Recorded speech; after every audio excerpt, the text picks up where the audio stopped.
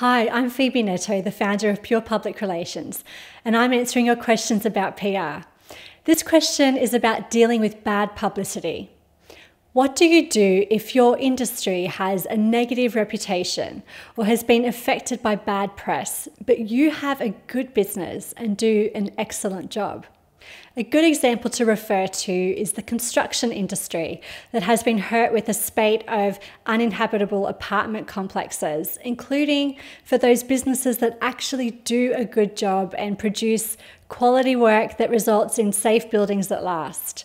Because how can anyone be sure that they do things differently to the ones responsible for unstable structures?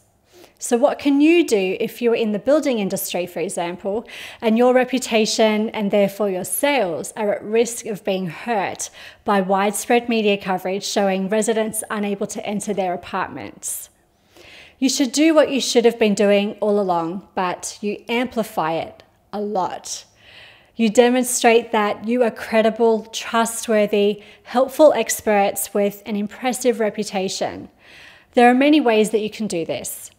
You can prove your expertise and experience by highlighting your qualifications, accreditations, and case studies of good work. Explaining your processes and the lengths you go to for quality, safety, consistency, and an excellent experience for the customer.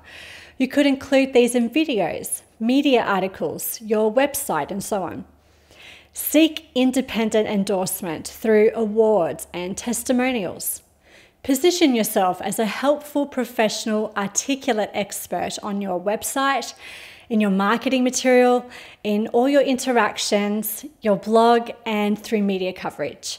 For example, advice articles on how to do things well that are published in industry publications, how to articles targeting your ideal clients published on relevant sites that they read, and opinion pieces on best practice all written by you and included in media outlets that are credible.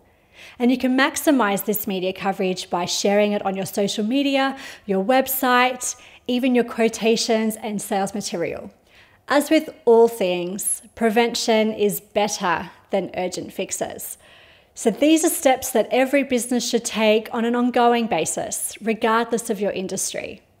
But if you are in an industry that is taking some heat because of poor practice, then you need to take these steps on a greater scale. If you don't make it clear what makes you different and better than your competitors, then people will make decisions based on price, familiarity, uh, who they find first, instead of who does the best job. You can't expect people outside of your profession to know what makes one business better than another in your industry.